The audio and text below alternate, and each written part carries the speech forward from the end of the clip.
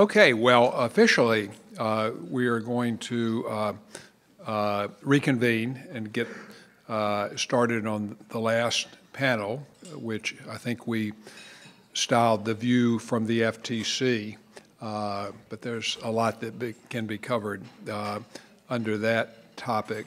So, once again, welcome for those that may just be joining us uh, at this point, and uh, again, I want to welcome our uh, C-SPAN audience uh, as well, and uh, thank C-SPAN again for uh, being here to cover this important conference.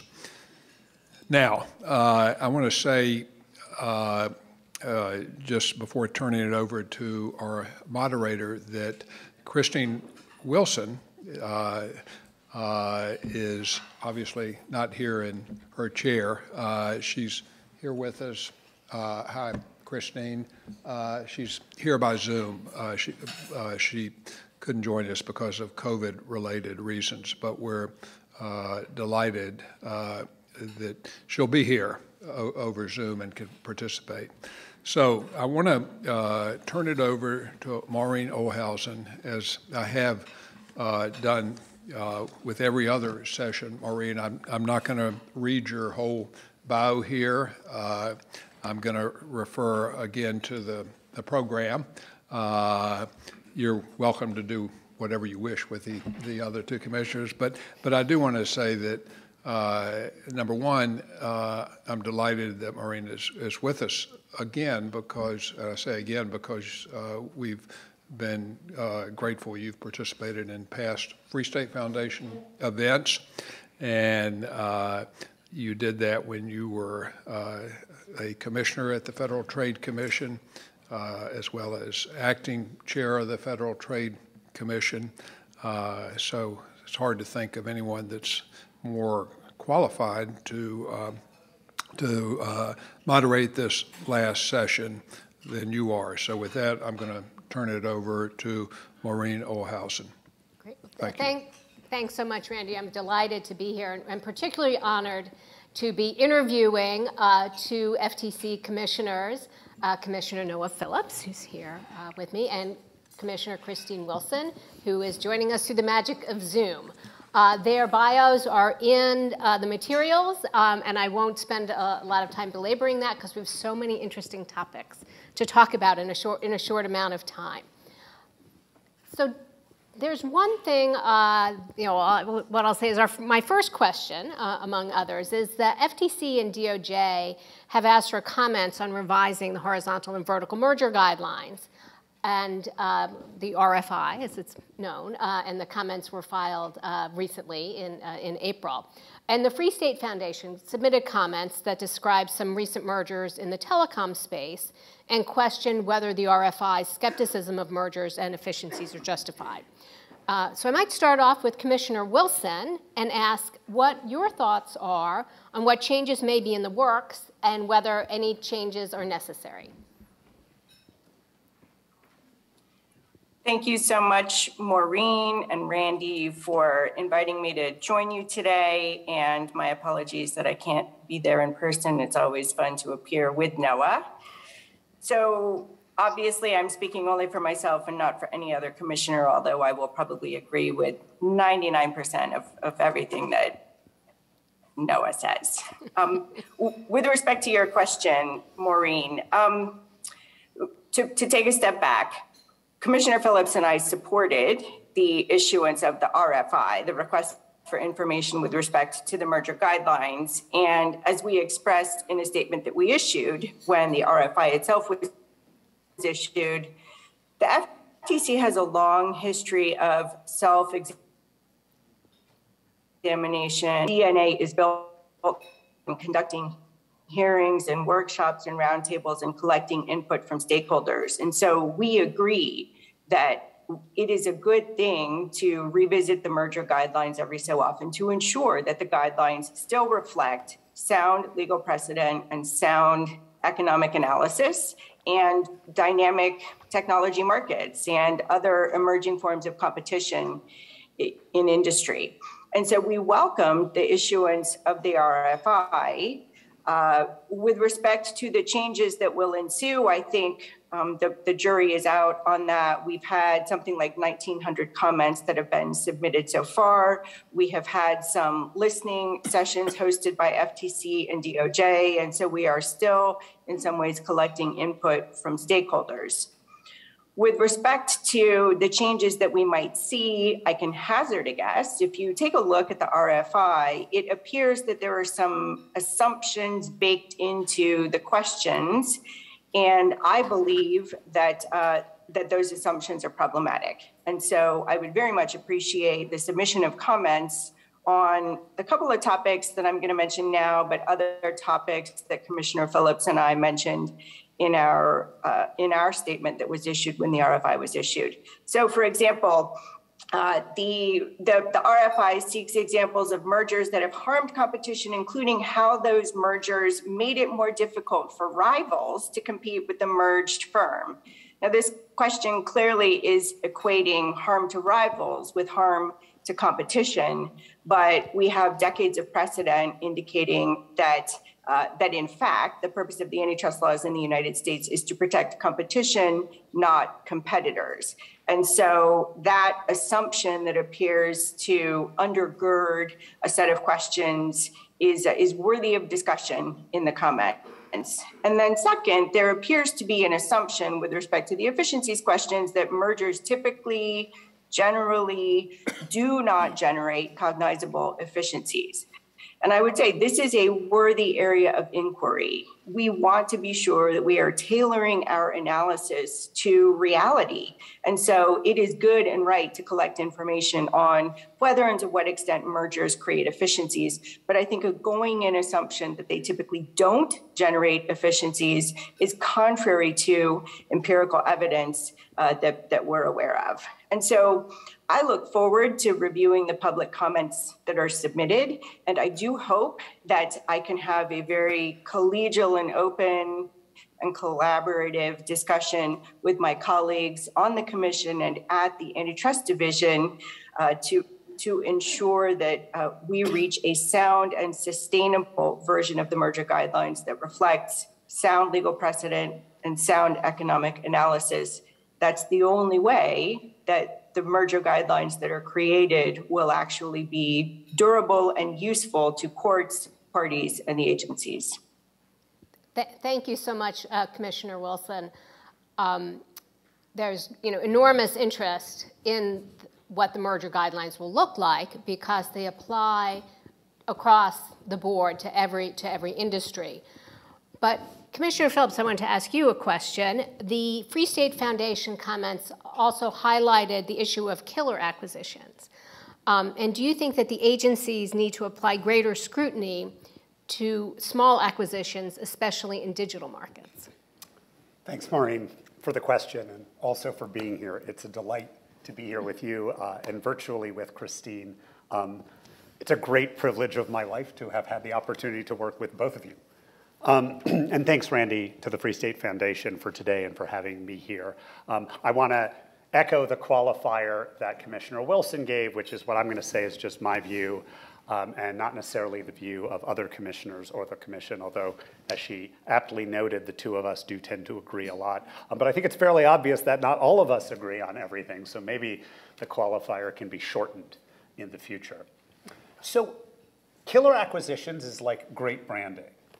And it comes from this really important article that uh, Cunningham and Ma and Ederer wrote about acquisitions not in the tech space, but the pharmaceutical space. And what they noted was that if you look at the development of drugs over time, um, drugs that seem to have been potential competitors uh, where the deal to acquire them was below the Hart-Scott-Rodino level, so the acquisition wasn't getting noticed to the agencies, they were seeming not to develop um, at a much higher rate. And so there is this suggestion in the paper that there are times when one company will acquire another that has a product in development that might compete, um, and then they're canceling that development. Now, there are a lot of reasons that drug development ends, uh, but the statistics are something, and the article is worth reading. But I think the place I would start is it's not just about big tech. or technology, right? That's an article. The article that coined the phrase killer acquisitions is about um, the pharmaceutical space and drug development and drug manufacture. And do we need to be looking at acquisitions of small nascent competitors? Absolutely. Have we, be, have we been doing that? I think the answer is clearly yes. You know, whether you look at DOJ in the Visa Plaid case, or you look at the FTC over the last few years, this is Illumina PacBio, this is Harry's and Edgewell, this is P&G Billie.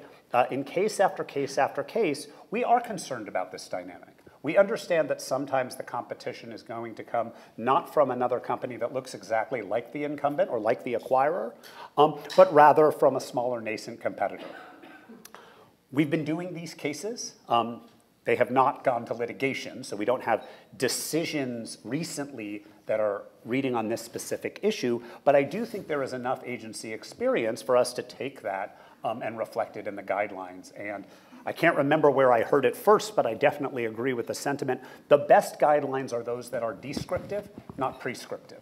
They're explaining to parties, to the public, to staff at the agencies what it is we're doing. And we have a track record of attention to this kind of competitive dynamic and what effect mergers may have. Um, and I think it's fair to look at that experience um, and reflect it in greater depth uh, in an updated guideline.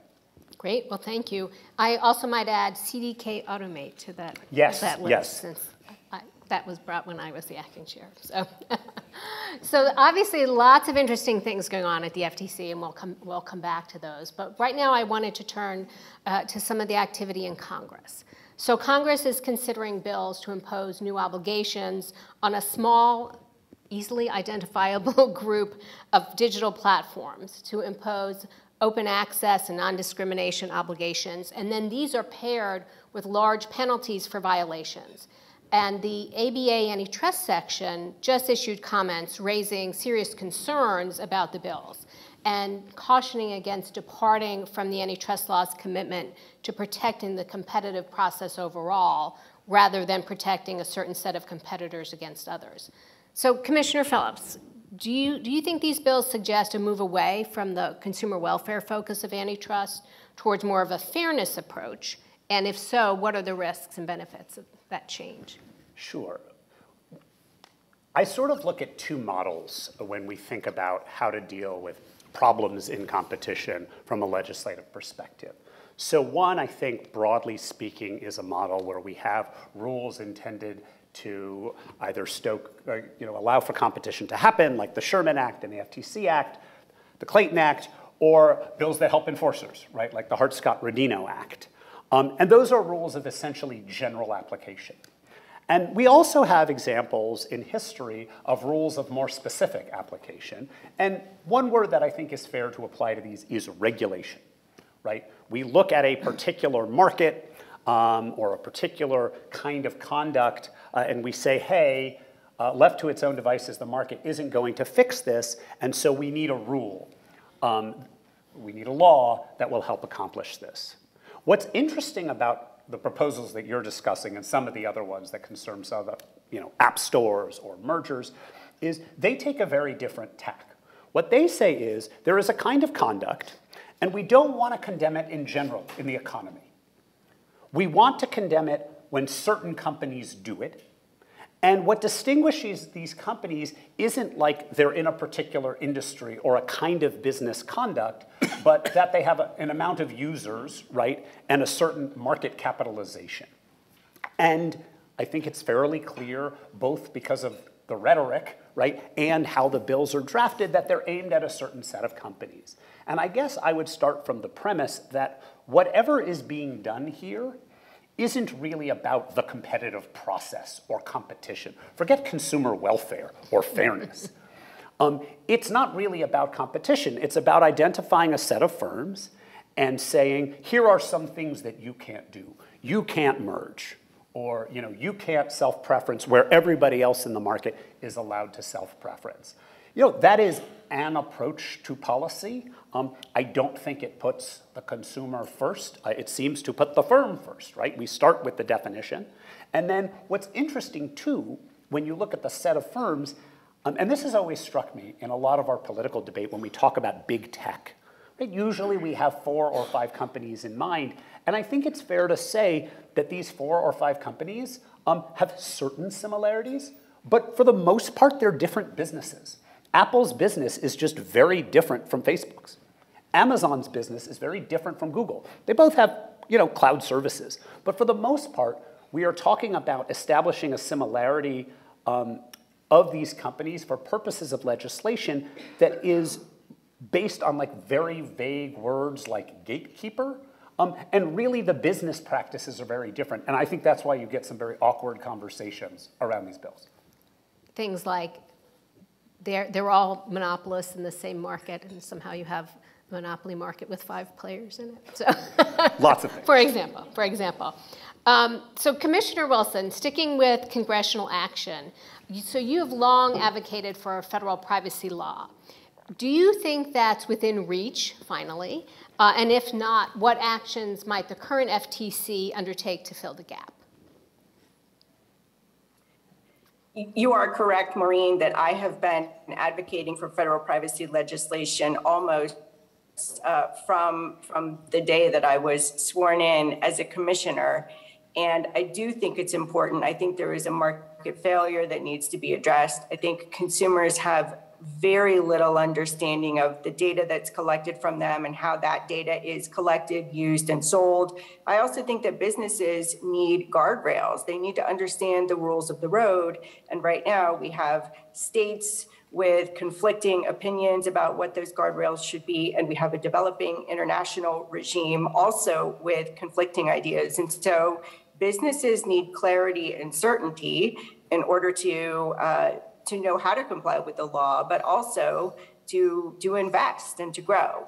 And uh, and so I do believe it's necessary to have federal privacy legislation. And I tend to be a Pollyanna, but I'm actually hopeful, more hopeful than I have been, because I hear there's a concerted push to get federal privacy legislation across the finish line soon, and that that would be wonderful. I do believe that, uh, especially in the current environment, it's important for Congress to make the judgments, the value judgments inherent in uh, privacy and data security and how those tensions uh, between privacy and competition get balanced.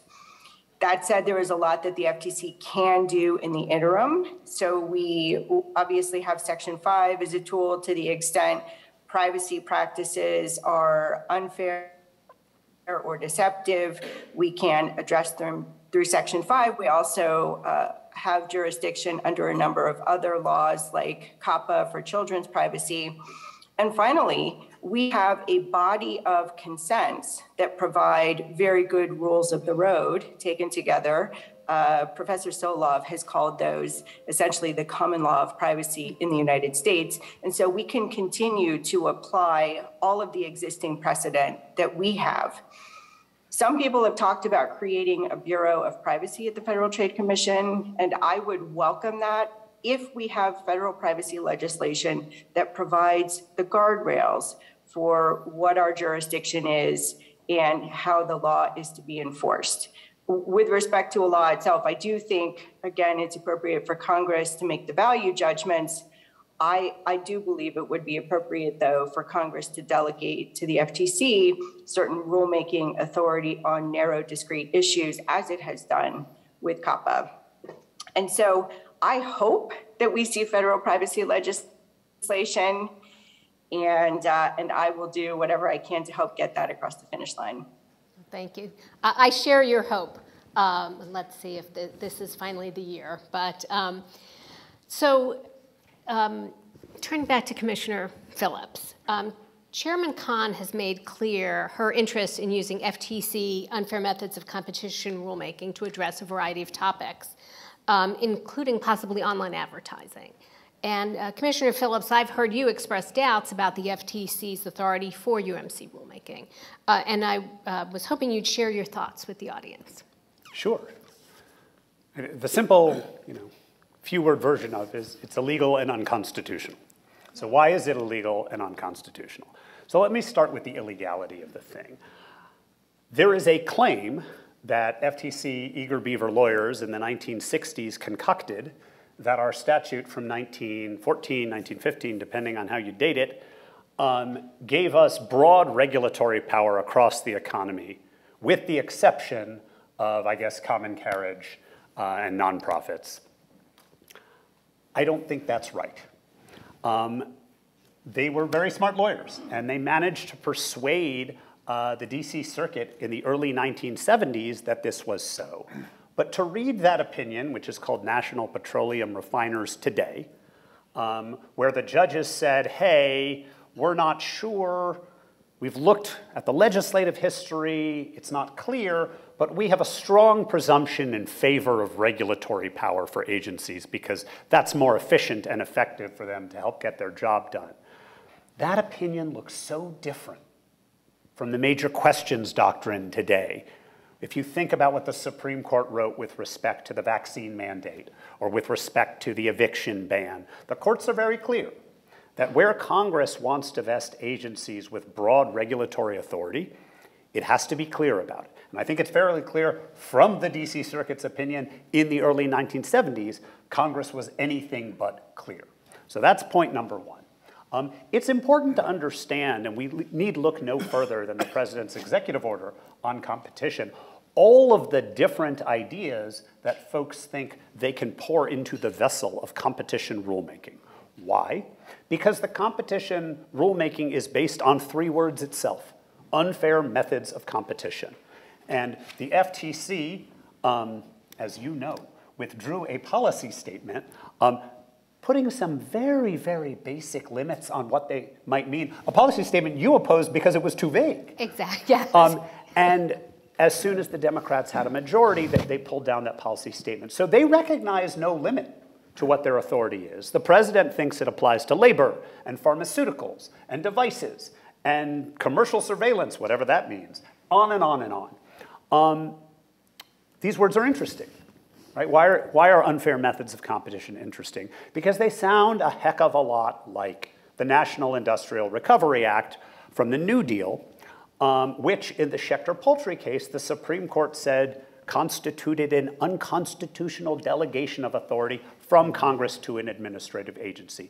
It was so broad, it was so much power and it was so ill defined by Congress that Congress was literally taking its legislative power vested in it, right, under Article 1 in the Constitution, and just giving it to an agency. That was the National Industrial Recovery Act. C codes of fair competition was the wording. Our statute says unfair methods of competition. And the court was aware of this. But of course, the, but of course, the court in the 1930s had absolutely no idea that in the 1960s, FTC lawyers would discover regulatory authority. We didn't have the authority then. I don't think we have it now. Um, so I think not only is this um, a claim of power, an assertion of authority that, as a matter of statutory interpretation, courts are highly unlikely to credit. I think it is such a broad grant, if it does exist, that it would be considered unconstitutional. I will also add a plug for a blog post that I did today on Truth on the Market, arguing the following. One of the interesting trends here um, of sort of asserting a lot of rules is that there's a strong suggestion that the rules will be per se rules, right? And one of the complaints um, of antitrust reformers is what I point out in my blog post, which is that over the years, the courts have moved away from per se rules. The courts have been telling us again and again and again, we want you to take a look at the conduct in the context and understand the costs and benefits. Um, not just say that sort of looks bad and we condemn all things that look like that. And so you have, on a substantive level, in a certain sense, um, a claim that we have this power to make these rules, um, but courts saying that the underlying substance of antitrust law uh, is much more a rule of reason, to go back to Justice Brandeis uh, in Chicago Board of Trade, than it is a series of per se rules. So I think there's a, depending on what they do, in addition to the statutory problem, in addition to the constitutional problem, I think there may be a substantive problem, uh, a tension with antitrust law itself. It's going to be, you know, quite the, um, quite the feast, I think, for constitutional lawyers and administrative law lawyers, uh, if the FTC moves forward in this area, in addition to the antitrust lawyers and the consumer protection lawyers who are already paying attention to these issues. So lots of fun ahead. Um, so I know we're running short on time, uh, but I do have one more question uh, for Commissioner Wilson. Um, so it's no secret that there are currently sharp disagreements at the FTC and a breakdown of its traditionally bipartisan approach uh, which had been a hallmark of the commission during Democratic and Republican administrations over the past 40 years or so. And I know that was certainly my experience uh, uh, when I was at the FTC. Uh, and even the FTC staff has expressed their concerns with the current leadership in the annual Employee Viewpoint Survey that just came out. So, Commissioner Wilson, you recently gave a speech explaining your view that this isn't merely a difference in style, but rather reflects a more fundamental difference in philosophy, uh, which I really appreciated your speech. It was incredibly thoroughly documented uh, and just found it fascinating uh, reading. Uh, and I would recommend it to everyone. Um, but would you be willing to provide us some highlights from that? Sure, absolutely. So, uh, first of all, I- would like to start out by saying that the FTC community, including commissioners, including staff, has always been a very collegial and bipartisan place to work. It's what makes the FTC community uh, such a such a special place to uh, to work. And and working at the FTC has provided me with my two best uh, most fulfilling opportunities in my entire career.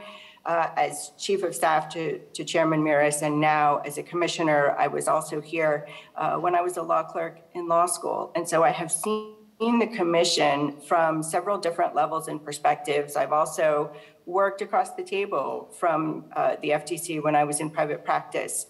And we have an incredible staff who works very hard, who cares deeply about protecting consumers, and who is very committed to the mission of the agency. And so you indicated the employee survey, the federal employee survey was issued recently. Those were uh, dismal results that I think arise from a disdain and marginalization of staff by current leadership and I think that is one data point in part of a broader pattern. So, to step back, uh, as everyone in the room knows, we have had a broad consensus on how to apply the antitrust laws for, for many decades. We look to maximize uh, consumer welfare. We look to, uh, to, to boost efficiency in the marketplace to ensure the efficient allocation of resources and we ground our, our analysis on economics, sound economics, economics that develops.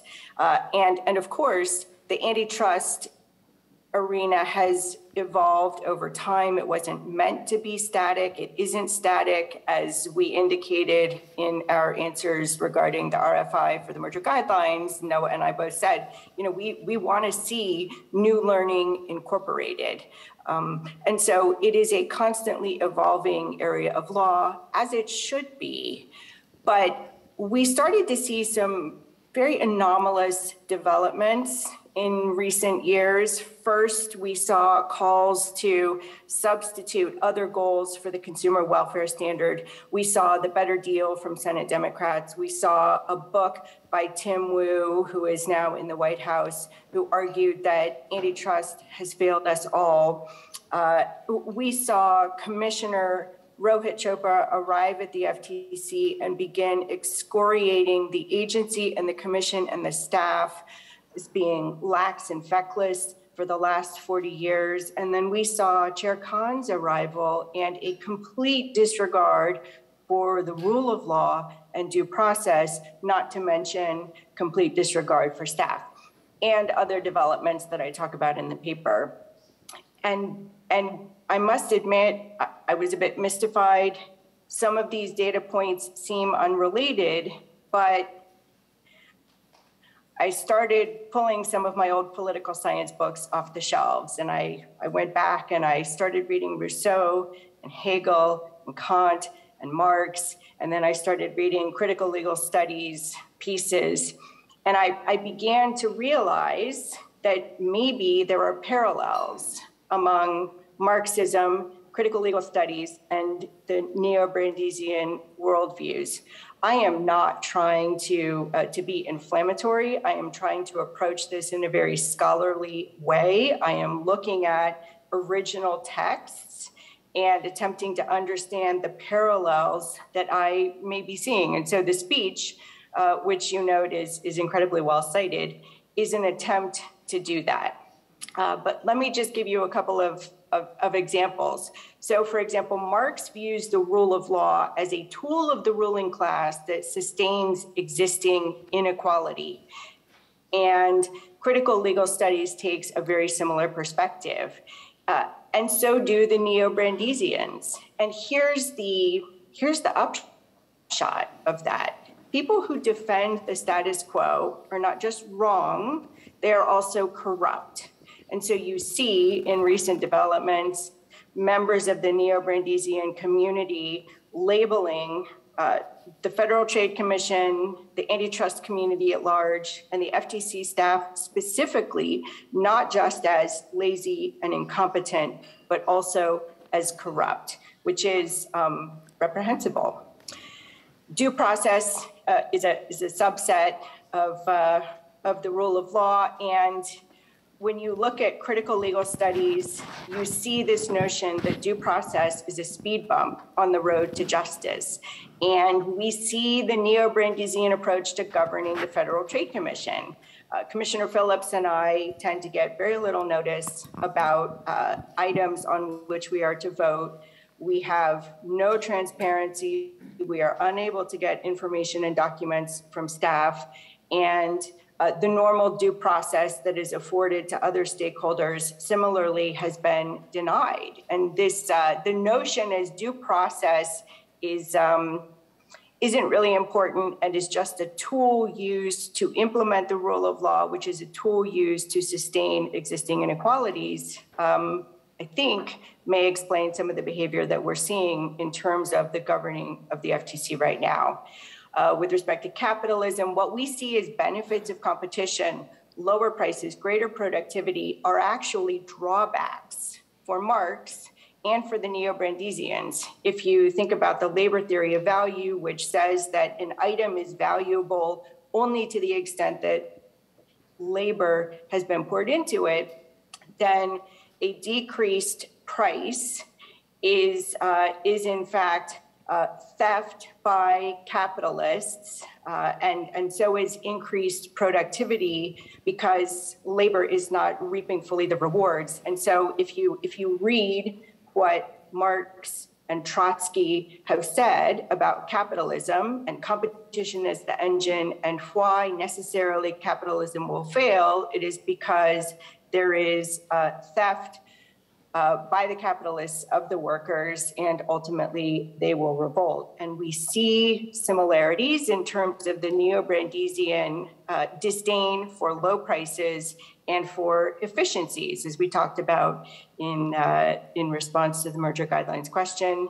With respect to consumers, we hold consumers to be the touchstone of antitrust enforcement, but we see, in fact, um, labor has, has now been substituted. Chair Khan talks about the mission of the agency as protecting workers and honest businesses. Consumers take a back seat. And, uh, and that is very much in keeping with the approach of Marx and critical legal studies with respect to consumerism and private property and commoditization and the cheapening of goods, which all uh, is in tension with the labor theory of value. And then uh, one final example, if you go back and look at Rousseau and Hegel, they view uh, they view destruction as good. They view society as moving through different phases, and the state is moving through different phases. And every subsequent phase will be superior to the one that we just passed through. And so destruction, war, tumult are actually good because they will lead to progress. And maybe the reason that Rohit Chopra was so uh, viciously um, critical of the Federal Trade Commission and staff, and maybe the reason that Chair Khan has been so disdainful of staff uh, resulting, of course, in absolutely terrible employee survey results, is because they don't care if the Federal Trade Commission gets trashed because they believe that progress is right around the corner. And it pains my heart.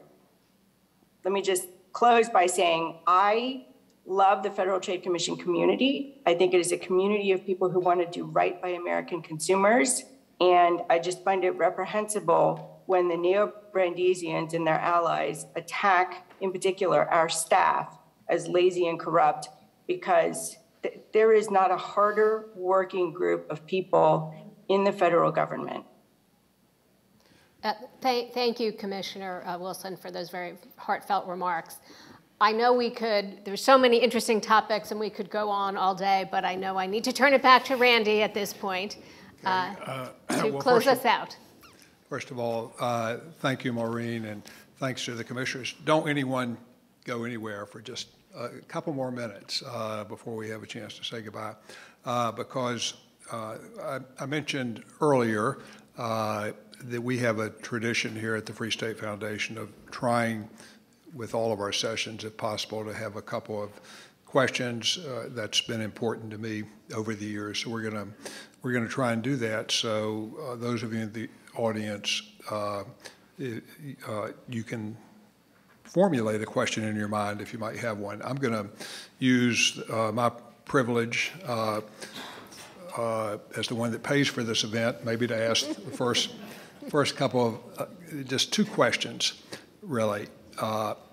Number one, let me say this first. I've read the article, uh, the Neo Brandeisian article myself, and I just want to second what Maureen said. It's a terrific scholarly article, whether you agree with all of it or some of it or not, you'll learn a lot by reading it. And uh, I commend you for that, uh, Commissioner Wilson. In fact, when I was reading it, I thought, this is a future think tanker for sure, uh, someone that wrote an article like that maybe even at the Free State Foundation, uh, but another day. So, really, two things. I want one of you to explain to the audience, just to make sure we make a connection. You know, the, you kept referring in your article, is styled uh, the Neo Brandeisians along with the others.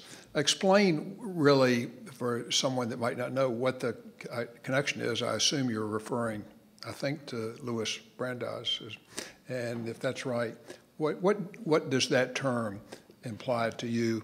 And then secondly, I want to ask Commissioner Wilson, because this is important to me, this topic of, of the non-delegation doctrine, constitutional issues for agencies. Uh, a lot of that's coming to the fore now with the, the major questions doctrine receiving more prominence, and I appreciated your exposition. Uh, Commissioner Wilson, do you agree with what uh, Commissioner Phillips said uh, regarding the, the, questionable constitutionality of the, uh, the unfair methods competition rulemaking issue. And then also one of you explain uh, to make sure we're all on the same page uh, what you're referring to when you say neo-Brandeisians. Uh, you can answer the question about UMC first. Sure. So, so I will, I will just say that I agree with everything that Noah said about the legality and the constitutionality of UMC rulemaking. I also question its wisdom when you look at the failure of heavy-handed regulatory regimes in the United States. Uh, we have a lot to learn from those lessons. We see that heavy-handed regulatory regimes uh, cause increases in price, they cause decreases in output, uh, they prefer rivals over competition and consumers, and they stifle innovation. And so, for that reason, and also the reasons that Noah articulated, uh, I think that UMC rulemaking is not a road uh, that that we should travel. And Noah, since you're in the room, I'll, I'll let you handle the neo-Brandeisian question. Sure. Um, let me just begin by echoing the last thing Christine said, which is a point that uh, needs to get made with respect to rulemaking.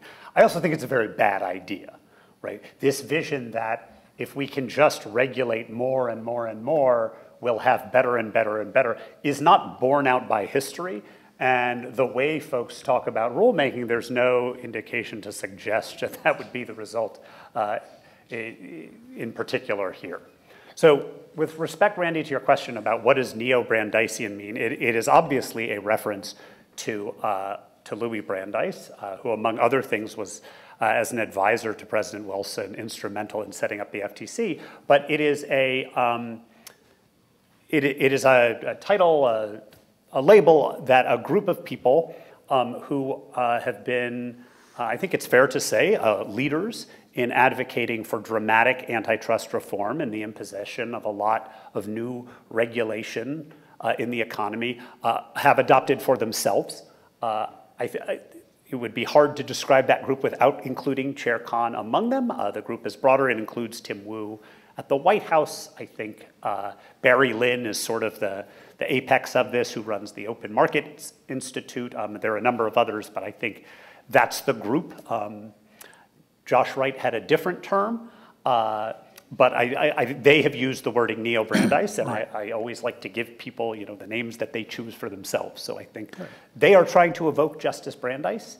Uh, I think in the sense of looking at large private institutions, large companies as bad and preferring um, more distributed power, they are like Brandeis.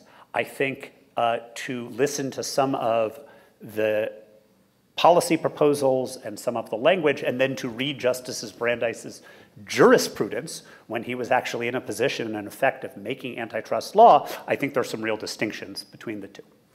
Great. Well, you know, that's helpful to me and maybe others uh, as well because the term is used so much now uh, in, you know, the community that, that you're in and that we're talking about. It, you know, if someone ra- says raise your hand if you're a neo-Brandeisian, you know, they may want to know what they're what they're buying into or not. So that's that's good. Uh, okay, uh, if anyone in the audience has a question, I'm uh, willing to entertain it. I'll say what I said before. You already asked one. I'm going to see what anyone else, else does first. Uh, and you know, questions are better than uh, statements, really. Okay, back in the back. And please identify yourself if you would. Uh, Joseph Sondry, uh, uh, NSMA. Um, high level, given well over 100 years ago, there was addictive properties in our food and cocaine and Coca-Cola. And now fast forward to today, we, we know that mobile phones, mobile phone apps are, uh, the creators hire neuropsychologists to make them more sticky, more addictive. Um, what are the odds that there will be any labels around that or removal of those addictive qualities, and how would that look? Happy, happy to field that. I think it's really hard to assess odds um, and where the provenance of such a rule would, or such, you know, a regulatory scheme would be. I'll say the following with respect to privacy. My sense, consistent, I think, with Commissioner Wilson and a lot of other people, has always been that one of the issues that we're tackling when we deal with privacy um, or other uses potentially of consumer data is an information asymmetry, right? Um, consumers may not understand fully what they're engaging in. And one of the things I've always felt would be very useful um, is to look more carefully at things like labels and understand, you know, what are ways that we can get good information out to people. Um, we do this in a lot of other areas, right? And you think about food, right? It's maybe not efficient for me every day to, uh, you know, if I'm at the grocery store, examine each label. But if I care, and if I want to, and the cost to you, the producer of Honey Nut Cheerios, is fairly low, um, that can be a really beneficial rule, a rule that is good for competition, a rule that allows consumers to shop across products, including for those features. So let's take what are you doing with your data, right? And Apple has a version of this in iOS 14. They have these nutrition labels, they call them. But it's a way of taking complex subject matter and boiling it down um, in, terms of, in terms that allow people to sort of shop across products and compare, and perhaps even to create markets around features where markets may not naturally arise. Um, the question of, you know, what constitutes addiction, what products, you know, should properly be regulated like we regulate cocaine. Um, you know, I remember when I was growing up and my father was like, don't watch TV, it's addictive. Don't play Nintendo, it's addictive. And I'd be like, yeah, yeah, go away. I don't care about sleep, I don't care about food. I want to play Nintendo. Um, at what point we label it that, uh, and then seek, you know, in turn to apply labels, I think we can leave for another day. But there's definitely, right, a lot of people increasingly focused on, you know, why, pe- why people are so attached to this, that, or the other product. Okay, uh, we have time really for one more question. Uh, um, You haven't asked a question, have you? All right, go ahead. This has to be the last one, and we'll continue the discussion when we close up. I have a contract that uh, relates to the 2 o'clock hour here. Uh, But uh, go ask your question, and, uh, and then no one leave until I say goodbye. Go ahead. Uh, Thank you. My name is Dave Perera, reporter from MLex. I'm just wondering, uh, Commissioner Wilson, should the Senate or the House convene a special committee to investigate potentially un-American activities that you've identified at the FTC and the White House? Okay. Uh, Commissioner Wilson, do you, uh, did you hear, the- I- you you were a little bit because of your mask. Could you, did you want to respond to No, this I, question? I, I, no, I, I, yes, I, I heard the question. Thank you. Here's what I will say. I am attempting to understand the data points that I am seeing. And uh, when Chair Khan says that all decisions are political, it seems appropriate to me to understand everything that she's written and what her politics are because she herself has said all decisions are political. But I'm trying to approach this in a scholarly way. I was uh, a political science major in undergrad, and so I'm pulling tomes of philosophy and history off the shelves and attempting to orient myself to the trends that I'm seeing around me. Okay, uh, I notice uh, Christine has not yet said that when she uh, leaves the Free State Foundation, I'm sorry, leaves the Federal Trade Commission, that she wants to join the Free State Foundation. But uh, Randy, it's we- a very tempting offer. We do uh, appreciate your uh, scholarship and, and your participation. And before we uh, give a round of applause to this group, I want to end really uh, by going back to something I said at the very beginning this morning, and that is that when we have these events and in our work at the Free State Foundation, we definitely have our own set of principles and preferences and predispositions, but we value having uh, uh, others' opinions represented and heard when we're having this, uh, these types of discussions. But here's one thing I'm going to say on which I don't want any difference of opinion expressed, no diversity of opinion. That over, I think you'll agree that over the last four and a half hours uh, that we've been here, uh, there hasn't been any other place in Washington in the last week or so where there's been such a stimulating discussion among so many great speakers about so many important issues. So uh, I believe that is true.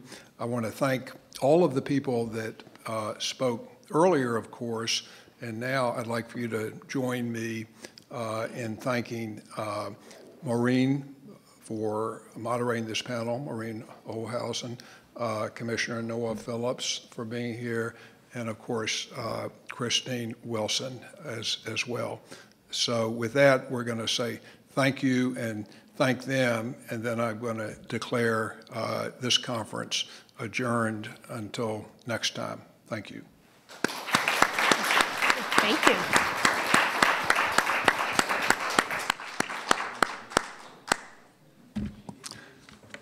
Goodbye and thanks.